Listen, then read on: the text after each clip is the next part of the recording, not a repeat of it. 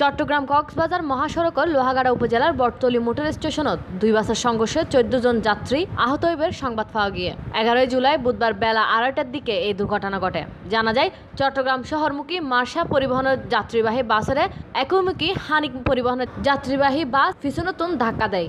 এড়ে হানিক পরিবহনের বাস বেশি আঘাত পায়। ফলে ওই বাস চোদ্দ জন যাত্রী আহত হইয়ে। গাড়ির ড্রাইভার অতিরিক্ত জোরে চালাই মাছটা মারি দিয়ে।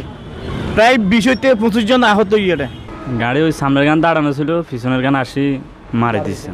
মেয়ে একটার মাথা ফাটি গেছে আর একটার মাথায় ব্যথা ভাইছে ভাইয়ে ব্যথা ভাইছে আমার জামিতে ব্যথা ভাইছি ফাইয়ে ব্যথা ভাইছি মারসাতি থেকে ওইতে স্বাভাবিক অবস্থার মধ্যে আইয়েরা ইয়েন দুম করে ইয়ে মারে দিয়ে ইয়ানোরে। ওইটার ইয়ান ইন ব্রেক অবস্থাত আছে মারসা মারসারা আইয়ের ইয়ানা মারি দিয়ে দেয় আহত হলদি বাঁশখালীর মোহাম্মদ শহীদুল ইসলাম পেকুয়ার নূর মোহাম্মদ মোহাম্মদ আজম চকরিয়া মোহাম্মদ শাহাবুদ্দিন নুরুল কবির আবু তাহের মোহাম্মদ টিপু লামার ফেরদুস বেগম আরমিন আক্তার পারভিন আক্তার মোহাম্মদ ইব্রাহিম নোয়াখালীর মোহাম্মদ মিল্লাত পটিয়ার অসিফ বরন্দে ও দোহাজারির আব্দুর রহিম। আহত হলরে স্থানীয় উদ্দারগড়ি উপজেলা সদরের বেসরকারি হাসপাতালত ভর্তি করাইয়ে। দোহাজারি হাইওয়ে থানার officer in charge Mohammad Mizanur Rahman জানায় ইয়ান চট্টগ্রাম মুখী আছিল মার্শা একইমুখী ওই যে ইয়ান হানি গাড়ি ইয়ান নিয়ন্ত্রণ হারাইয়ের তারা মারে দিয়ান।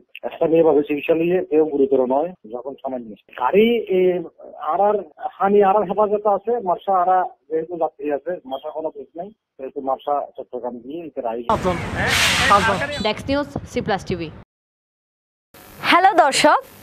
ভিডিও ইভেন নিচে সাবস্ক্রাইব লাহা উগা লাল বাটন আছে। ইবেত ক্লিক করুন আর সাবস্ক্রাইব করুন আর ইউটিউব চ্যানেল সাত গাইলে হতা হই।